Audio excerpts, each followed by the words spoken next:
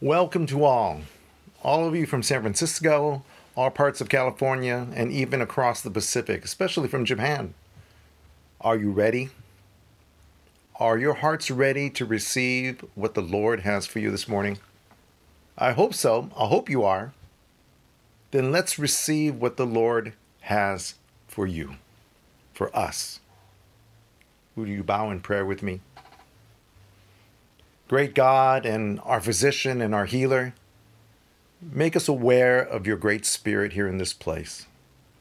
Touch and heal our brokenness and lift us out of despair and doubt. Dry our tears, pain, and sorrow. Comfort and nourish us with the many blessings of your love, O God.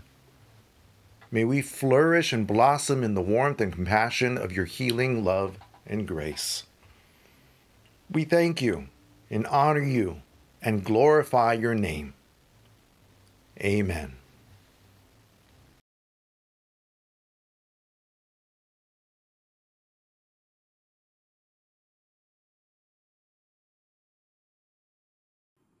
Good morning. Hope all of you had a wonderful Memorial Day weekend last week. Last week, we learned how we are to live for God by not living for human desires. And we talked about the three different categories that relate to this. We talked about sexual immorality, drunkenness, and idolatry. And today we will focus on how we are to glorify God and what that looks like. So let's turn to 1 Peter chapter 4 verse 7 to verse 9. 1 Peter chapter 4 verse 7 to verse 9. Peter says, "The end of all things is near. Therefore be alert and sober-minded for prayer. Above all, maintain constant love for one another, since love covers a multitude of sins. Be hospitable to one another without complaining. So Peter tells all Christians the end of all things is near. We talked last week about Jesus coming back to judge each one of us, whether it is Christians or non Christians.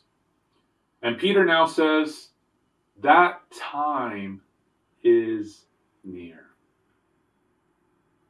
And I know a lot of us, and including myself, we've been waiting and we're still waiting. But the Bible says the end of all things is near. So, what is the response of knowing that the end is near? Is it to be anxious? Is it to panic? Is it to isolate ourselves from everyone? Peter answers prayer. We are to be alert and sober minded for prayer until Jesus comes back or until we die and go to heaven. Whichever comes first. The Bible says we are to be alert, meaning we must be ready at all times. And we should be sober minded, meaning to be earnest. So, what Peter is saying is that the knowing that the end of all things is approaching, is coming soon. We need to be ready and earnest for prayer. And until that time comes, the one thing we need to focus on is loving one another. Peter says, above all, meaning our first priority. Especially as we suffer during hardships, we are to maintain constant love for one another. Think about this. Whenever we pray, whenever you're praying, how often do you pray for the people that you do not love? Do you pray for God to help you to love one another?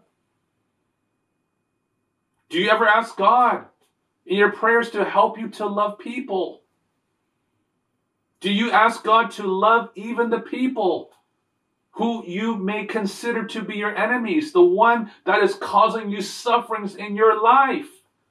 Do you pray for them? Think about it.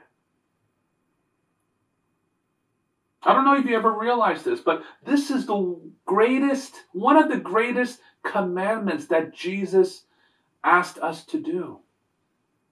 Love one another. Jesus said in John chapter 13, and this is in verse 34 to 35, says, This is what he commanded his disciples the night before he was crucified. And he says, I give you a new command love one another.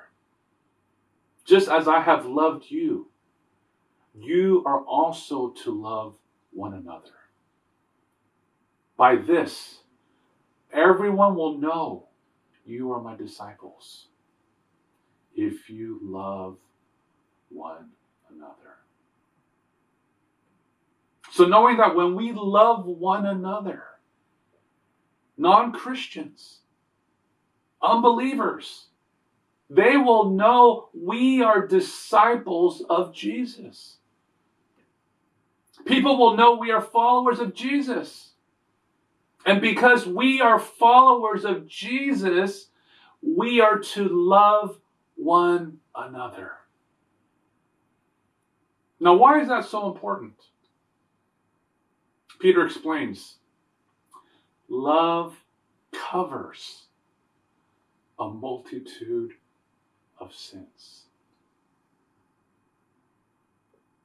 Only by being disciples of Jesus, being followers of Jesus.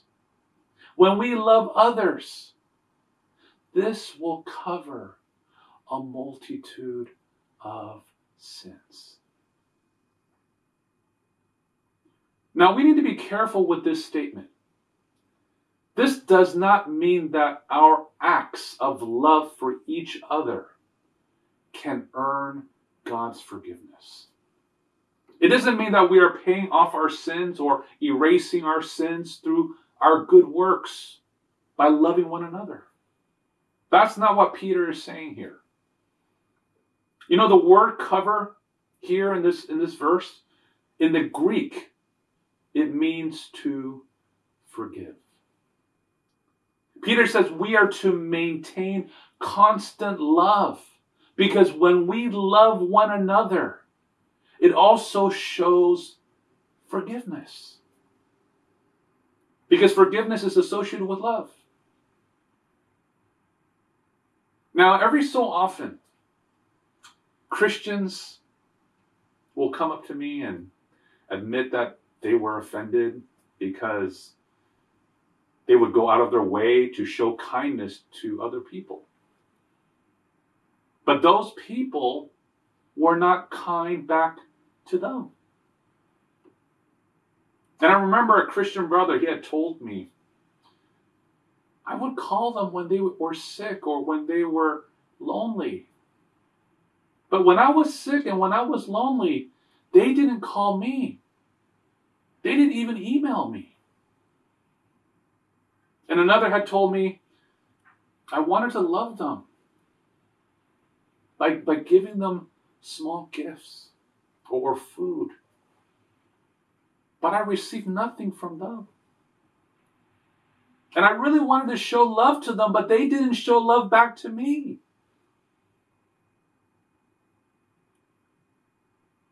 And because even Christians can get bitter about this. Yes, even Christians. When, when they constantly try to show love, or when we try to constantly show love, but do not get anything back in return, we, we end up being bitter. And because of that, we refuse to forgive them. Because we just can't let it go. Now, I want us to understand something, Christians. If this is how we feel, the problem is not them. The problem is us. Because true biblical love is sacrificial love. It's about the benefit of others. Biblical love does not expect paybacks. It does not expect returns for something you did for someone. If we are expecting paybacks, then the true object of our love is not them. It's ourselves. The reason we are bitter is not because we love them. The reason we are angry is because we love ourselves. And we also want them to love us too. And the truth is, when occasions like this happens, they don't need to ask for forgiveness because they haven't committed any sins. Because we're the ones who have committed a sin. And we're the ones who need to ask God for forgiveness. Because we have sinned. For biblical love does not take offense, it covers the offense of others. It's for the benefit of others.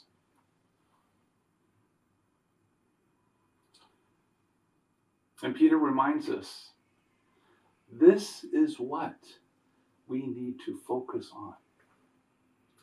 Love one another. For love covers a multitude of sins. So Peter says we are to love one another. The question is, how? Peter explains in verse 9. He says, Be hospitable to one another without complaining. Peter says, Be hospitable to one another. Now, a, a lot of Christians would presume this sort of hospitality would be, for example, uh, having people over for dinner or even hosting fellow Christian brothers and sisters to some sort of gathering. And those could be examples of hosp- hospitality. But in Peter's day, Christian hospitality was a much greater need and also had the potential to be a great burden as well.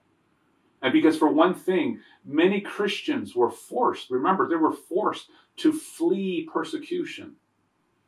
And as Christians were being persecuted, they relied on other Christians who were living in other towns or regions to share their home and food.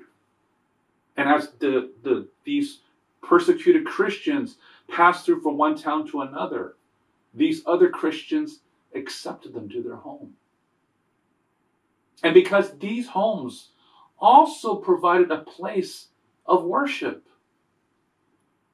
And, and th- because there were no churches back there, back, back in those days, this is how Christians from different towns and regions, that's how they gathered and worshiped. And today we can also show the same thing by welcoming others to our church. And also by supporting the church financially or hosting and helping to lead different fellowships and ministries. You know, church fellowships are built on the hospitalities of its members. The essence of hospitality is to offer what God has given us for the caring of other members.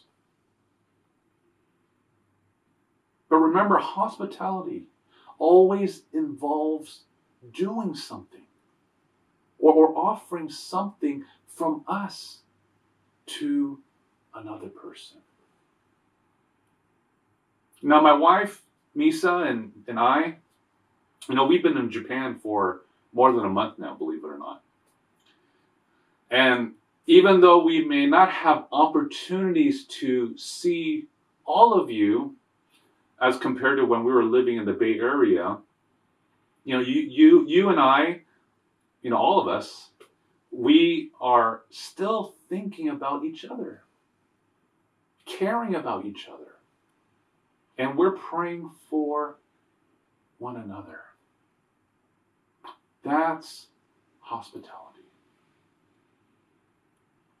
Now, how that dynamic works isn't important. What is important is that we are doing something. We are being hospitable. And Peter reminds us this is how we love one another. Peter continues and shares another way we are to love one another. Let's look at verse 10 and verse 11.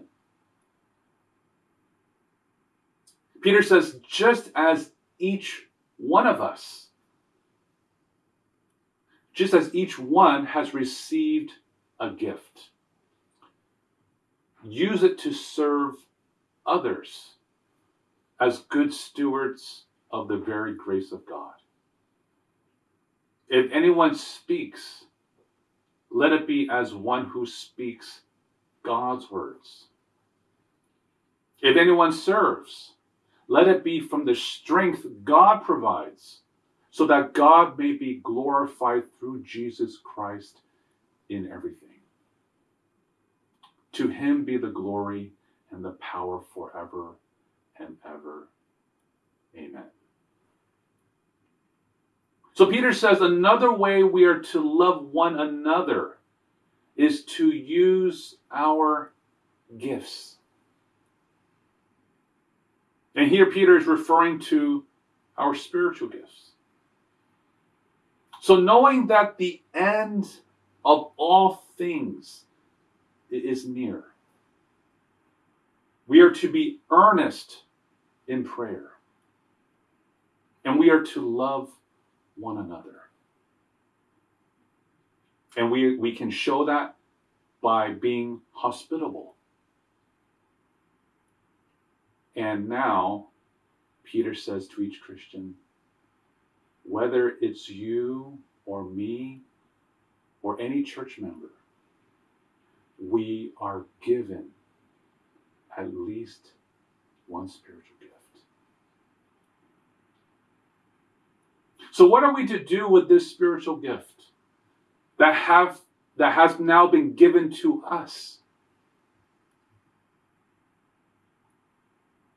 We are to use it to serve others. Understand this. Each of you, even if you have just become a Christian recently, each one of you have been given a gift, at least one gift, so that you can serve others. And the Bible says we are to use this as good stewards.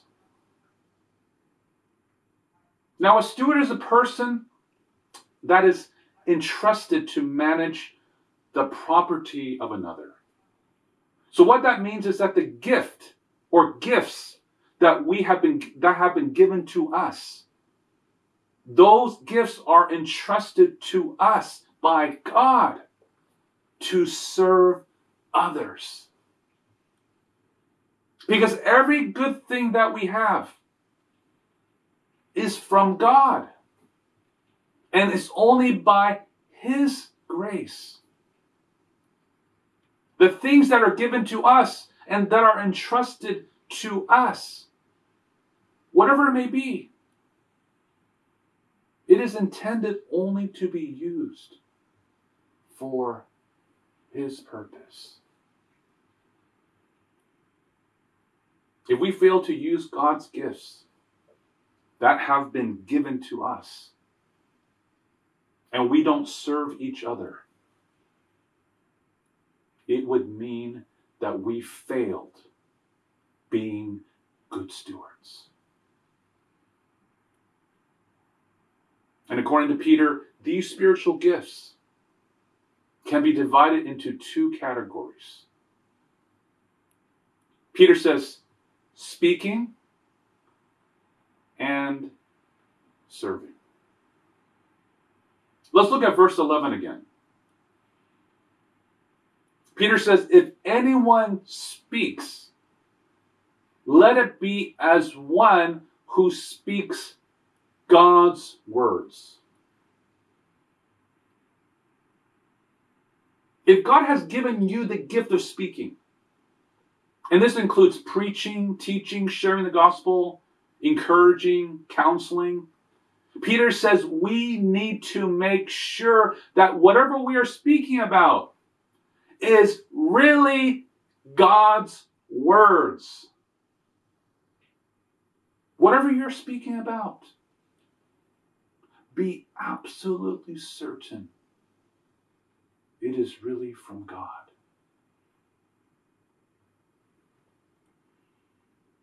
You know, last week we talked about marriage. And we talked about marriage was a union between a man and a woman. It is not between a man and a man, or a woman and a woman, or transgender, or any combination of those things. Marriage is only between a man and a woman. And we also we also talked about drunkenness and that it is evil in God's eyes. We talked about idolatry. And this can come in various forms, whether it's religion or following the opinions and beliefs of, of different people, some of them social media influencers or celebrities. This is also evil in God's eyes. to be honest, when I taught those things last week, I, I knew that there would be some people who would be offended. They wouldn't like it. And they were probably thinking, those people were probably thinking, how can you call yourself a pastor? You know, m- many years ago, when I began when I began preaching and, and teaching, whether it was uh, a sermon or even a Bible class, I, I would worry. I would worry about what people would think about the things I taught. I worried whether people would like it or whether they would accept it. Whether people would lose respect of me because of what I taught. And honestly, there would be nights I, I would not be able to go to sleep. Knowing what I would be teaching the next day, that it might be offensive or cause controversy even among the members in our church. And this is why so many churches out there, this is why they preach topics rather than preach through the Bible, verse by verse, not skipping any verses throughout the books of the Bible. You know the thought of teaching something and, and, this is not just to our members, but this is to anyone who listens to the messages. The thought of that I would be teaching something that is not from God, but yet calling it God's Word. That thought would worry me so much more than what other people would think of me. Because ultimately, I fear God. I'm called by God to preach His word. And I am accountable to God. Because I could not bear the responsibility of someone, whether it's a church member or anyone else, to live their life based on my opinion. But I know if I speak nothing but God's word, not only can I be in peace,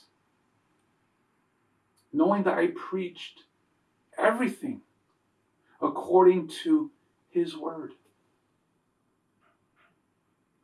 He will also bless the person who chooses to obey and follow everything that was said.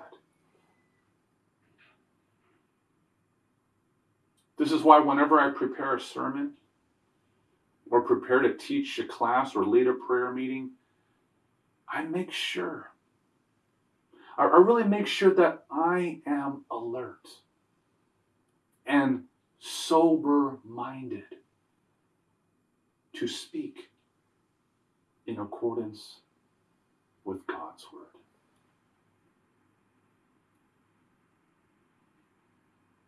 And those of you who are gifted in speaking, it should be the same. Whether you teach, whether you're sharing the gospel, whether you're giving advice or encouraging or counseling, it should be from God's word. But for some of you, you're not comfortable with speaking. Your gift is serving. Peter says, if anyone serves, let it be from the strength God provides, so that God may be glorified through Jesus Christ in everything. Now, when we are talking about the gift of serving, we are actually talking about a very broad category. Every single Christian, every single Christian has a gift. And if your gift is not speaking, then that means you have at least one gift of serving. Each of us, each and every one of us have a responsibility as Christians to serve the church. Whether it's to help with the Sunday worship, or it, it is to help with the different ministries and fellowships. Now, there's nothing wrong just to watch the sermon or just attend fellowship. And I do encourage all of you to join one of our fellowships, whether it's our prayer meeting, TNF small group, men's fellowship, women's fellowship. But each of you, each of us, we have a responsibility as a Christian to serve others and to serve other brothers and sisters.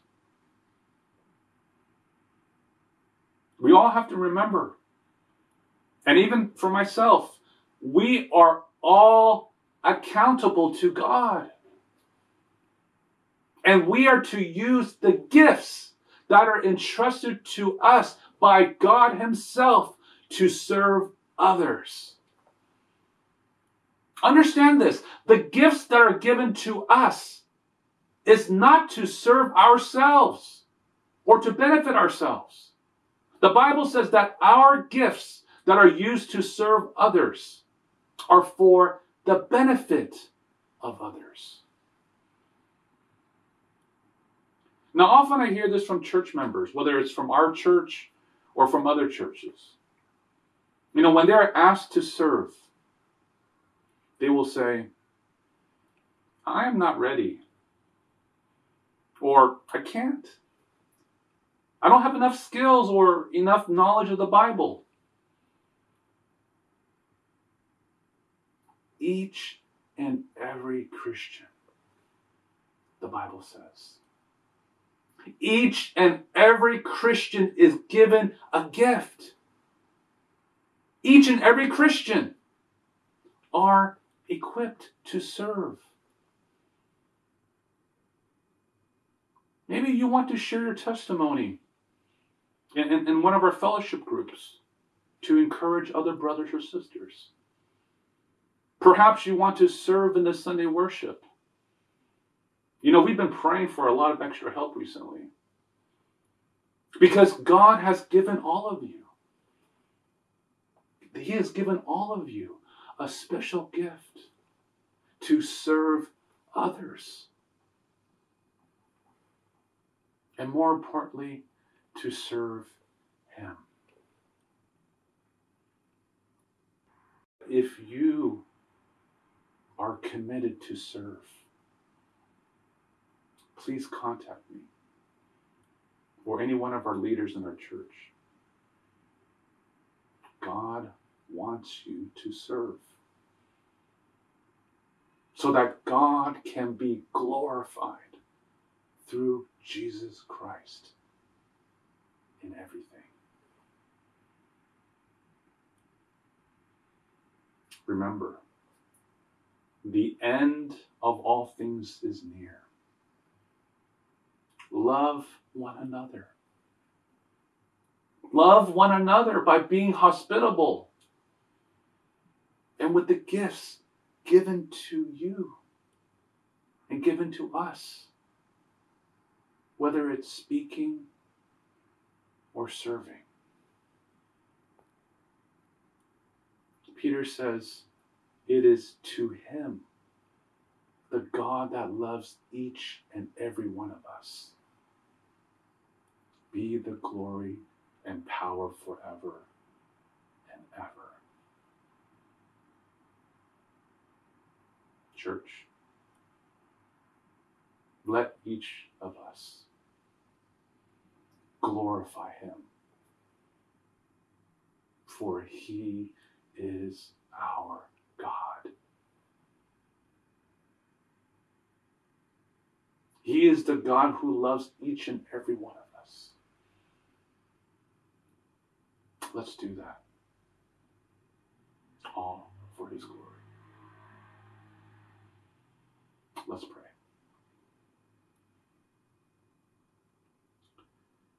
Oh Lord, we thank you so much. And we thank you for the reminder of your words. The time is is near. Remind us, Lord, that you are the God that controls everything. Nothing is out of your control. Even time itself, you control it. How long we are to live, or how short. How long we have before the time ends. Lord, remind us that we are to love and serve one another. Help us to serve with love. And Lord, I know that at times we may struggle with this, but help us with your strength and the grace that you've given to us. Help us to show that love. And we can do this by serving. And we can do that today. We need help in the church. Lord, give us the encouragement to step up and to help to serve. And Lord, we also pray that you will give us uh, the strength and, and the desire to want to pray everything according to your will, knowing that this will glorify you in everything. Lord, help us to do that.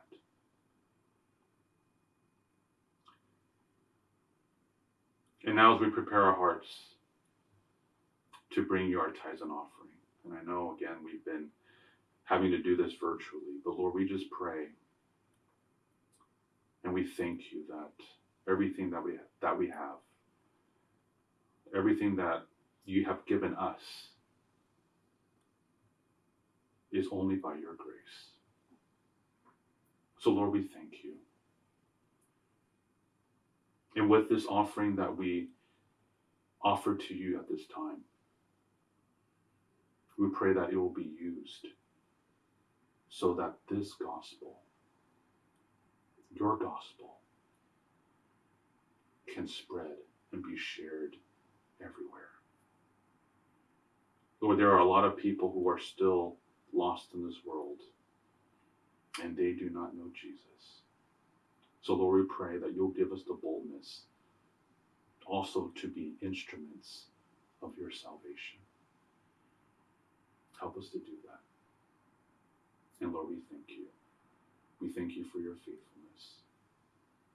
You're so good to us. And we know we don't deserve it. But Lord, we thank you. In the name of Jesus, we pray. Amen.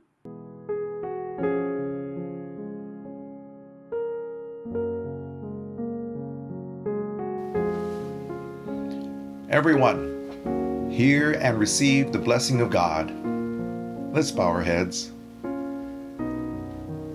May we go in grace and peace to be the hands and feet of our Lord Jesus, to touch a broken world that we may bring his comfort to those in any affliction. And may we go in grace and peace to love the world on behalf of Jesus, representing him to a broken world, just as our Lord did. And may we all go in grace and peace to discover the joy of joining the work of Jesus finding Him among the broken of this world. In His name we pray. Amen. Thank you for joining us in our worship service today. Have a blessed Sunday. Bye bye.